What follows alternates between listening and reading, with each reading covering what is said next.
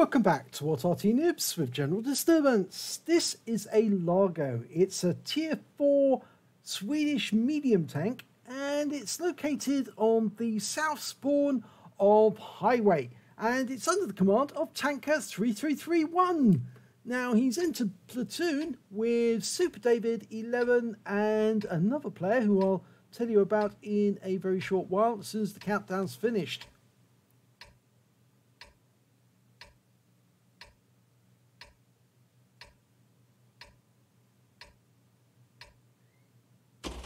Game's underway. Okay, now the, the other player is Wojciech CZE03. So, hmm, what a name, Wojciech. We'll just call him Wojciech. Well, the Lago. It normally has a 75mm gun. Um, yes, this one does have the 75mm with 110. That's the top gun, but it's not a very powerful 75mm gun, I'm afraid. It's quite a weak one.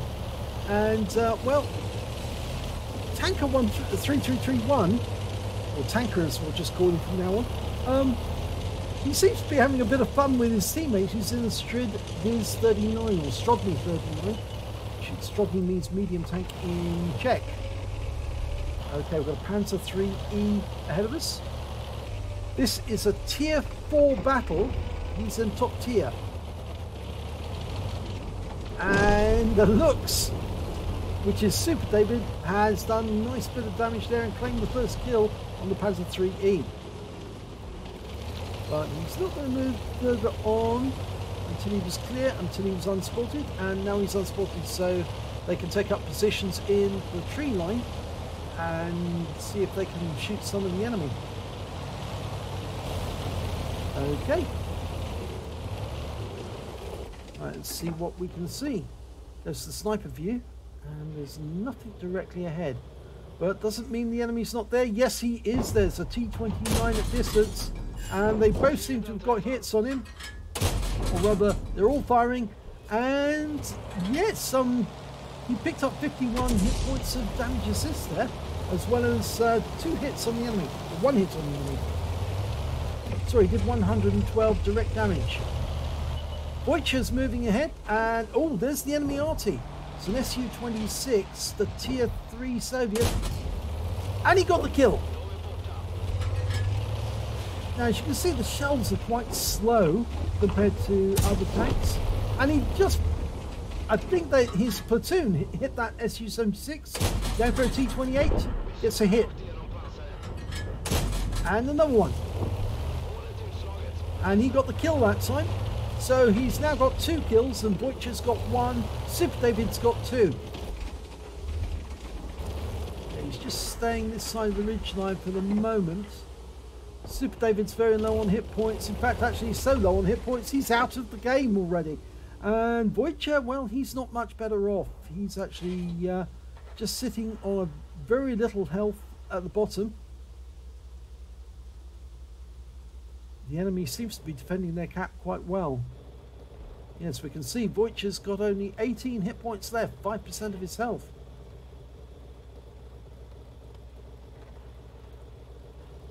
Well, Tanker 3331 is an experienced player and he's still got 100% of his health. Well, I'm afraid he's just lost Wojciech as well. So now he's the last remaining member of his platoon. And so far, his platoon have picked up five kills. So that's not bad start, but the battle hasn't finished. In fact, there are two tanks down on the enemy.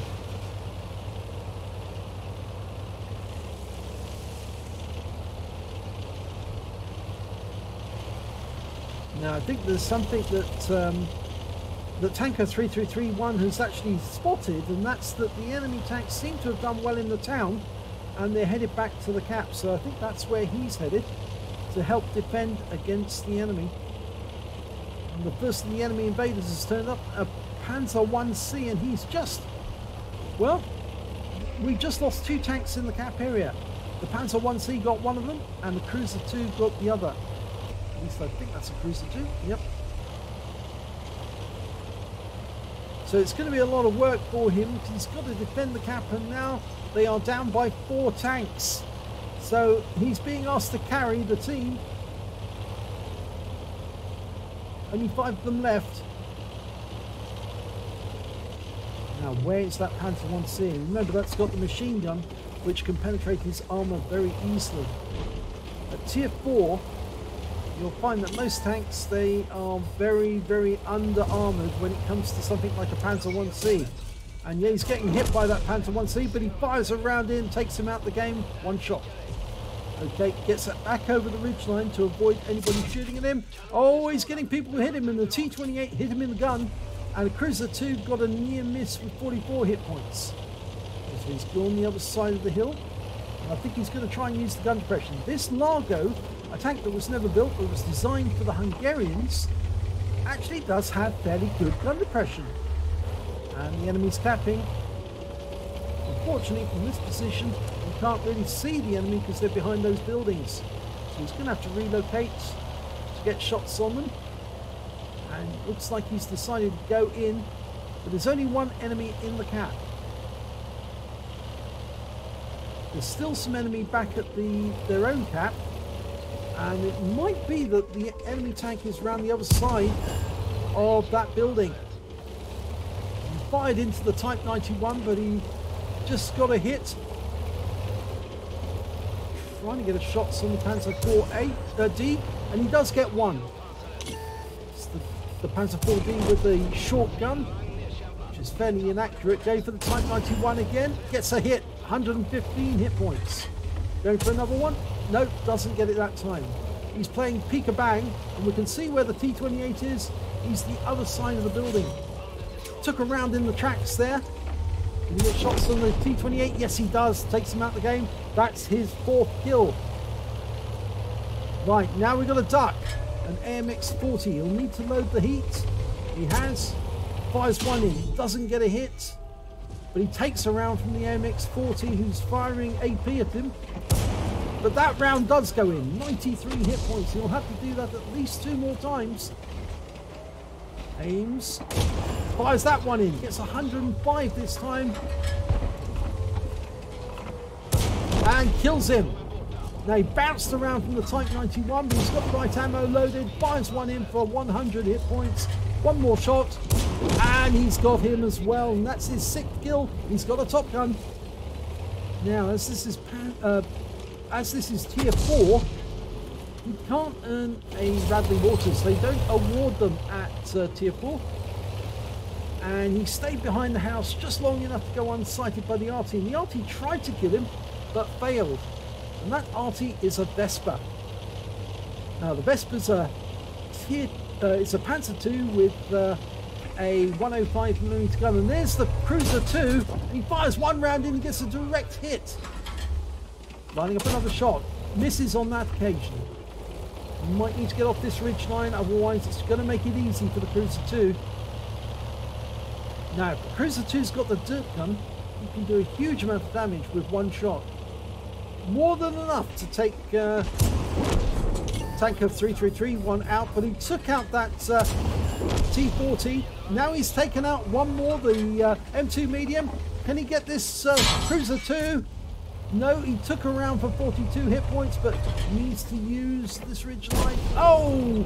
Cruiser 2 goes down to the Lorraine 39 LAM on his own team. That means there's only one enemy left. He's got eight kills. Only one enemy left. He has carried the team. And that enemy is that Vespa that I'm talking about. Panzer II with a 105mm gun. In fact, it was the mainstay of the uh, German Wehrmacht. They used the Vespa as their artillery support. They used the Hummel to take out the enemy arties. And he's headed over to the enemy cap now. It's just him and the Lorraine 39LAM versus that Vespa.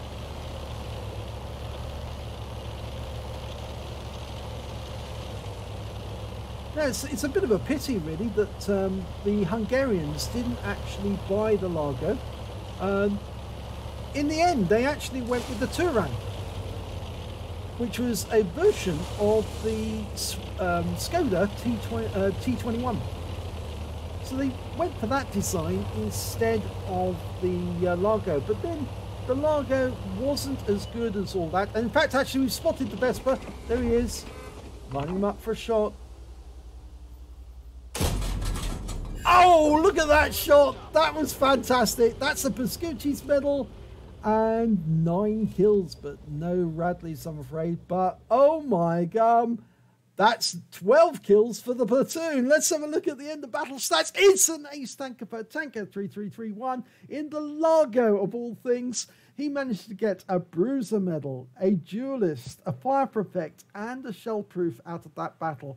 But best of all, here's the epic medals he picked up. He picked up a Pascucci's medal for killing both of the enemy arty, the Vespa and the Su 26. He got a cool headed for that um, all the shots he received for, that came from the Panther 1C and bouncing off him, ricocheting off 10 ricochets.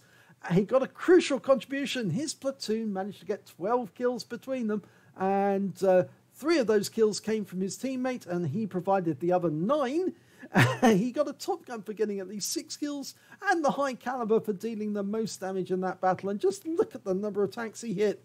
That's fantastic for a tier 4 battle. Congratulations. Let's have a look at team score. Top of the table, 1,650 hit points of damage. He got the highest amount in that column.